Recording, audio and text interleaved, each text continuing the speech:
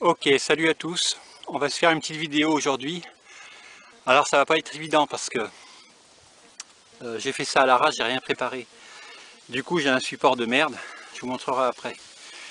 Je vais tenter donc, ce que vous voyez à l'écran, là il y a un ballon rouge, un espèce de ballon noir, enfin un ballon noir quoi, qui se voit pas terrible. Et à côté du ballon rouge il y a un œuf, et plus loin une boîte de thon. Alors on est situé à 209 mètres.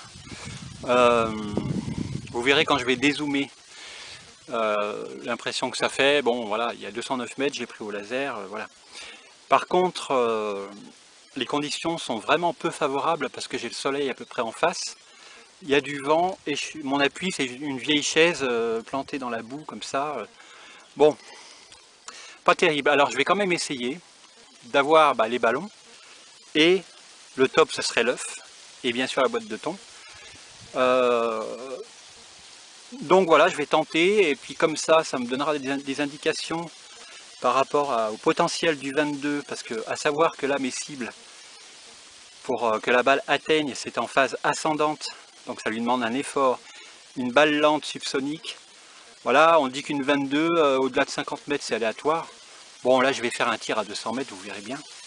Euh, il y a beaucoup de préjugés d'idées préconçues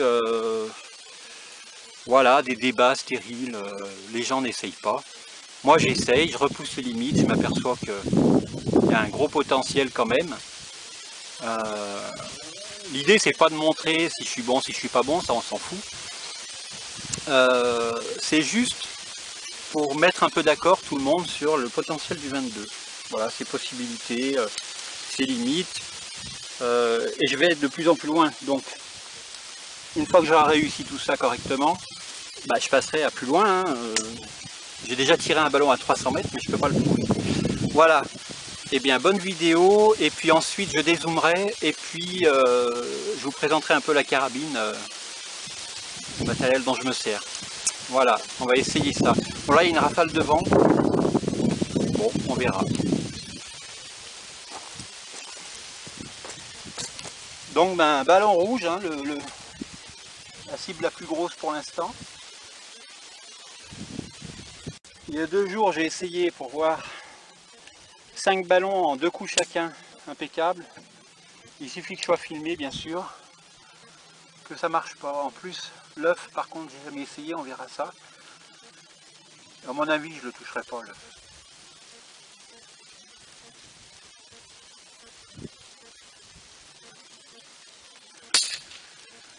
Là, ballon rouge. Euh, alors je vais tenter le, ballon noir, je ne sais pas si vous, vous le voyez sur l'appareil photo. Là je suis zoomé à fond, hein. c'est un zoom en 15. Je suis désolé, on ne peut pas voir mieux que ça. Et vous verrez après en dézoomant la distance que ça fait réellement.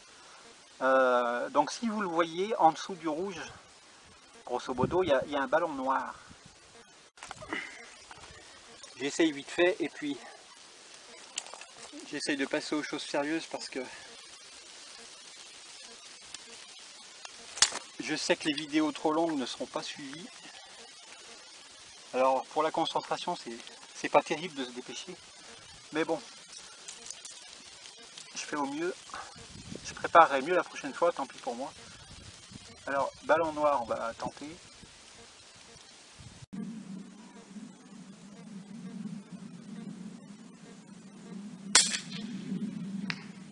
Oh là là je suis juste en dessous dans le bois, en dessous ou en dessus, je pense. Allez, je me le retente quand même.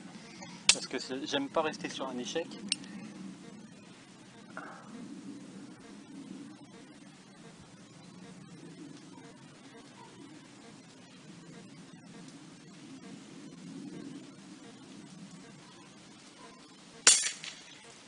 Là, j'ai eu raison.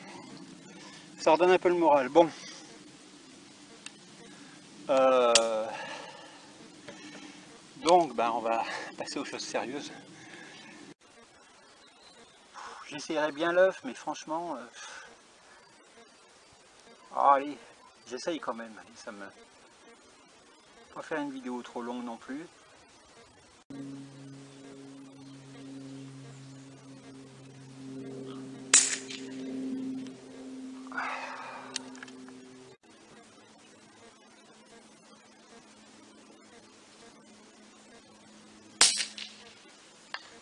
Ah, j'ai éclaté l'œuf, ça y est. Oh putain. Oh putain. 209 mètres, les gars. Bon, ça serait bien que je finisse sur la boîte de thon. Bon, bah ça valait le coup d'attendre.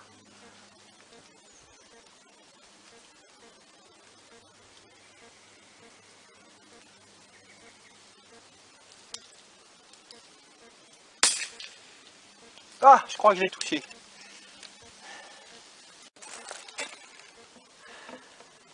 Voilà. Alors maintenant, on va dézoomer. Vous allez pouvoir vous rendre compte de ce que ça fait, d'où j'étais.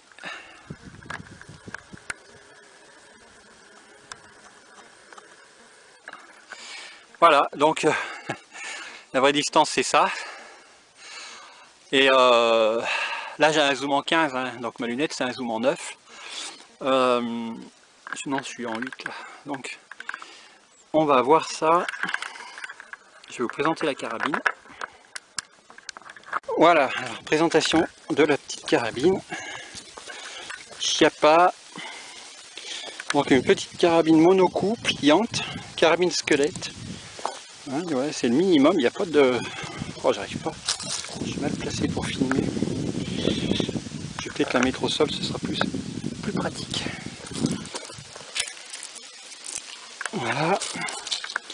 Carabine Chiappa,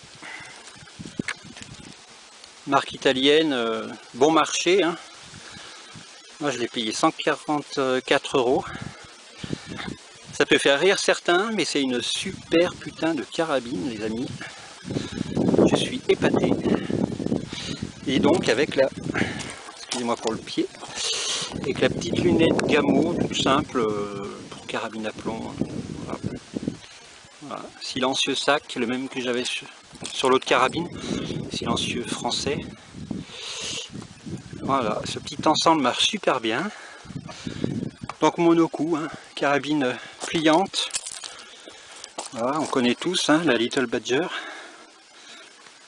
Voilà, il y a un petit cran là, hop, on casse comme un peu un fusil de chasse. Voilà, c'est hyper léger. Bon, c'est pas pratique pour la position parce que la crosse est super courte. Euh, voilà, moi je suis en plus grand. Voilà. Donc il y a vraiment moyen de s'amuser, euh, de faire des, performances, on peut le dire, je pense. Et puis voilà, je vais essayer encore de faire mieux, comme je dis toujours. Et je pense que c'est possible, hein. donc là j'aurai pas plus de distance, il va falloir que je trouve un autre terrain, ou je sais pas. Peut-être en modifiant un angle, peut-être je gagnerai encore un peu. C'est pour ça que je fais du petit, parce que je peux pas avoir du plus loin. Voilà, en tout cas merci d'avoir regardé, c'était un peu long, désolé, euh, mais je suis assez content, pour moi ça valait le détour. Allez, ciao, à plus